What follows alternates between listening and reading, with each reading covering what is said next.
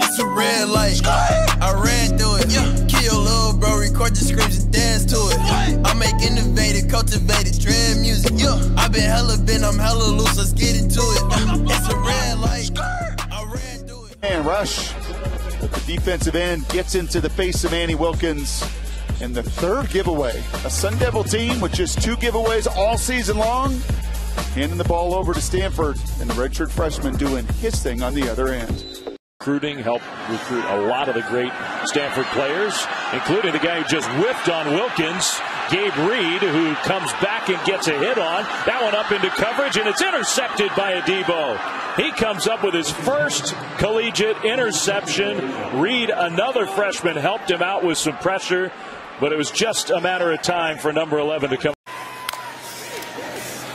Riddell again. That time they fly off the edge. There's one answer. Clock at three. Herbert fires end zone incomplete again. One and the reason it's one on one is because of the blitzes. They trying to get after him. Remember we talked about affecting him. Noah Williams from the left almost gets to him, but that's a really good effort in coverage. We've seen Herbert make these throws all night. How about the length of Adebo? Get it from the pocket, zipped again. The same matchup. He's looking overtime. Yeah, I, I, talked about the last one was interference. See his head right away. See his head right away get turned. Now he has he's in position to be able to fight the, the receiver for the ball. He has just interception for Adebo on the season and a brilliant play for the Stanford corner. Four verticals. Chase Garbers reads it out. He's taking a shot to the right sideline and Paulson Adebo. This is bonkers if it's ruled a catch. Watch the right hand just snag it. What an amazing play I mean, Adebo. Roxy, it's the big game for a reason because you got to make big plays in big moments, and that's exactly what this young corner did.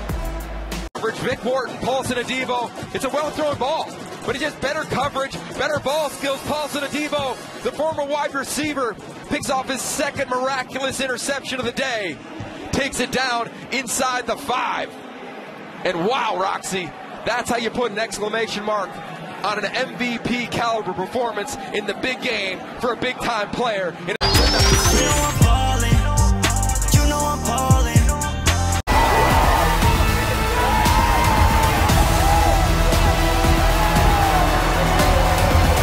long throw, picked off by Adebo, and one of the nation's best. Not uncovering things like this.